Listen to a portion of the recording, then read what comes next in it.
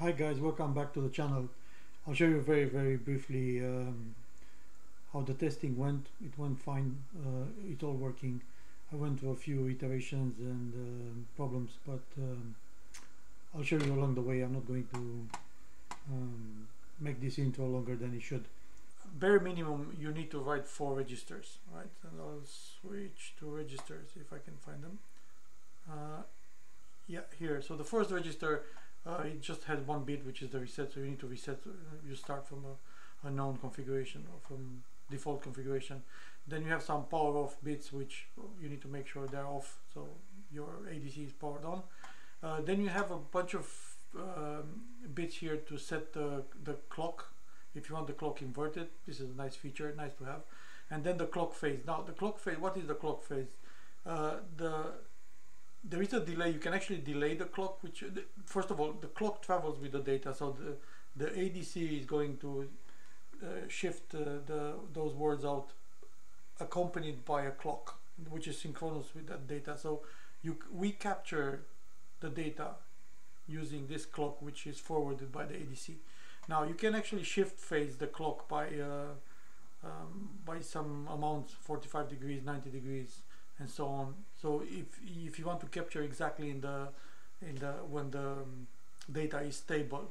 Now I didn't have to do this because my PCB it's uh, everything is matched, so it should it should work.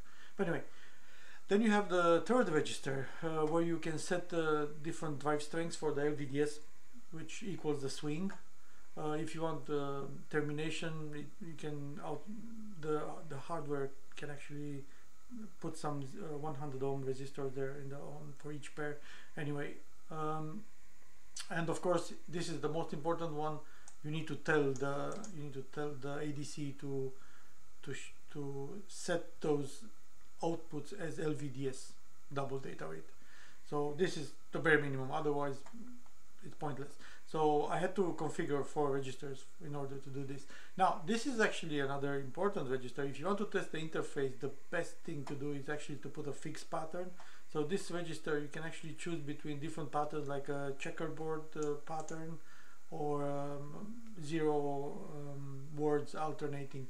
So I, I had actually to to go for both just to make sure that everything works. Okay, so now going back to the tools where I'm going to show you um, how I'm testing this. So how do I see what is going on inside the chip? I put a, an ILA core. ILA stands for Integrated Log Logic Analyzer. So I just go to the programming here on the hardware. Okay, so this is what I'm going to sample. So this is like a small logic analyzer which is inside of the chip. So we just capture one more data, data set. So what, this is what I capture. This is what comes from the actual ADC. So if I show you. So it's a checkerboard. You see there are ones and zeros alternating and changing for every every sample, which is pretty much this. Uh, this. So it's a checkerboard output pattern.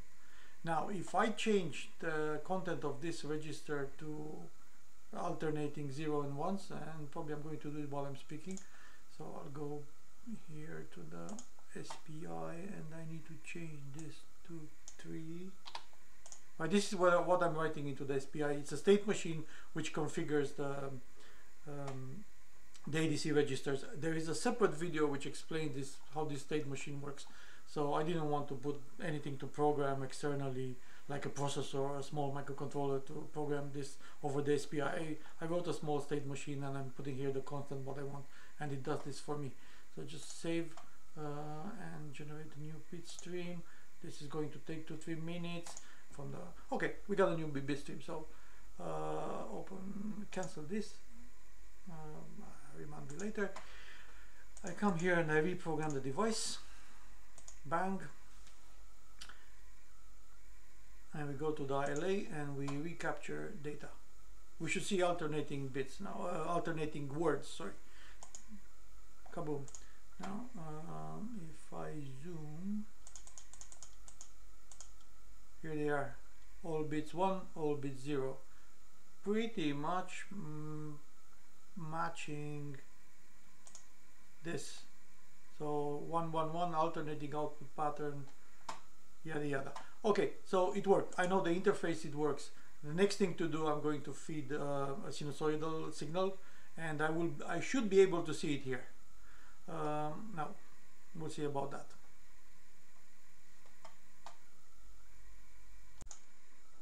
Well I put a sinusoid and I got some garbage.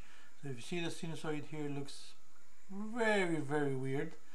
But I noticed something that I have a bit swap. You see in a, when you put a sinusoid usually the lower bits they should toggle faster.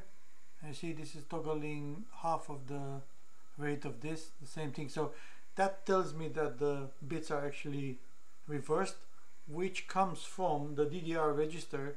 I think my clock is actually inverted and then I checked on the PCB and definitely my clock is inverted. So I'm going to resort to the internal registers of the ADC and I'm going to invert the clock. Why? I can invert the clock in VHDL but the moment you invert the clock you might end up that the clock is not going to route on a on a dedicated clock resource it might get to the normal logic so I prefer to do this on the ADC uh, I'll come back with the with the update to this problem.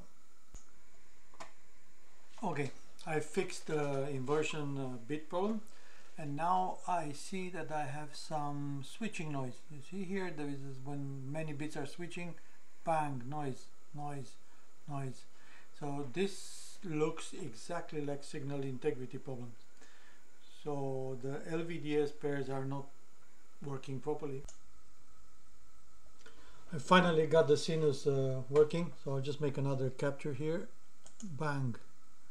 And I'll modify the frequency. I'll go lower in frequency. And recapture bang. Even lower. Hey happy days no noise. Uh, let's go higher in frequency. Oh, I need to put my glasses. Okay so let's go what? Let's go 2 megs. This is a 2 megahertz signal. Sample. Hmm. Pretty okay. Let's zoom in a little bit. Yeah looks squeaky clean. I'll make this smaller. Yeah let's see what's the maximum amplitude here. So uh, yeah, I think I have a little bit of over overrun because this number is too large. So for what oh no for 14 bits we are okay. Yeah this is something I don't fully understand. So I'm sending here a signal which is supposed to be 2.2 peak to peak which I think it should be too much because now I'm a plus minus I'm a 2 2 volt peak to peak. I think it's actually attenuating the transformer and everything is attenuating or this fella here which is a Chinese um, signal generator uh, it might not actually have the amplitude into a 50 ohm load. Uh, anyway let's go higher with the amplitude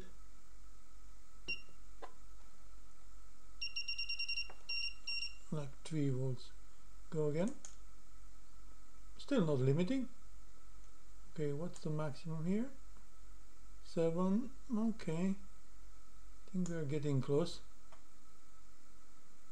Getting close. If you are looking here at the bits yeah we're getting into the MSBs let's give him 4 volts. Now it might be I'm not sure if it's a generator or whatever uh, it's nearly biting into the maybe I should have um, sampled the overflow. There is an overflow pin which shows you that you have overflow. This is actually a nice feature the overflow because you can uh, drive a, a VGA before the I mean from the front end from the RF front end you can um, drive a variable uh, gain amplifier. But anyway uh, it's working. I'm happy. Um, looks like uh, clean as a whistle. And uh, yeah working fine. ADC tested